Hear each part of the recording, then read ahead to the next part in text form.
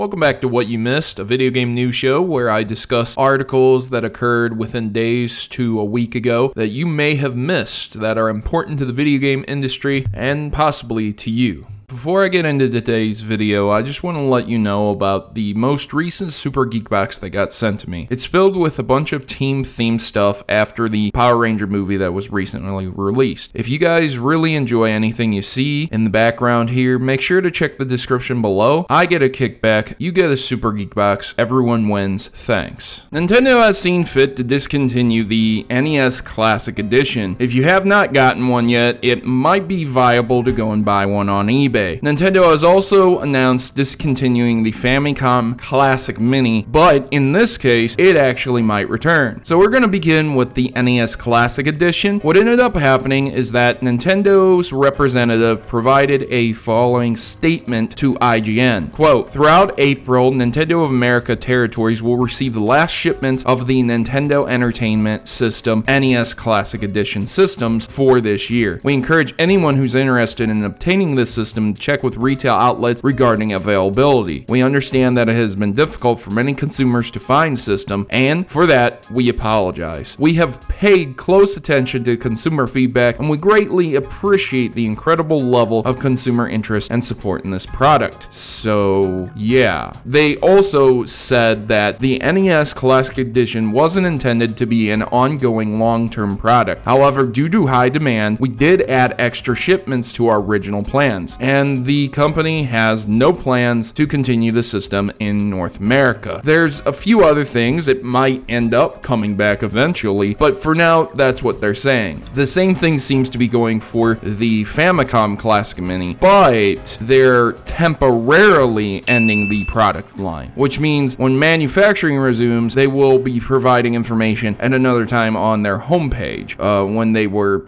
detailing the manufacturing times and stuff like that. So obviously for Japan, things are different, or countries that get the Famicom Mini. For North American territories with the NES Classic, it's over, guys. Look, I have one. I absolutely adore my NES Classic. I think it's a better deal than the Nintendo Switch. Don't get me wrong, I think the Nintendo Switch is a great system, but I honestly think that even when you pay upwards into $200 on eBay for an NES Classic, if you can get it hacked with every game, you're paying very, very very little for each game, something like 30 cents per game. Now that's pretty good when you're looking at the entire library of NES games. Yes, there are bad games. Yes, there are games that you aren't going to want. But how many people can say that they're holding the entire NES library in their hand and all they have to do is plug it into a TV, press the power button and pick up the controller and play with anyone? I have two controllers. I play with my daughter all the time. She loves playing NES games with me and it's way better than the Switch. Well, at least as as of now because there's not really many games I can play with my daughter on the Switch. So this definitely takes its spot. And I would recommend anyone that has extra money and doesn't want to make a Raspberry Pi buy this on eBay. That's all there is to it. You guys have yourselves a great day. Let me know if you've got a Nintendo Classic Edition. And I've been your host, Proto Mario, and I'm signing out. Make sure to like and share this to everyone because a lot of people are confused whether or not this thing is going to eventually continue and there's going to be more available, which clearly there is not.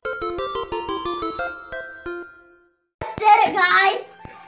I just got the magic wand. You got the magic wand? Yes, I did. You Look. Woohoo! You beat the water level. Yeah. World 3. Mm hmm I did it. Wow. I told you. If you jump on your head and run, if you run and jump on your head, it's actually good.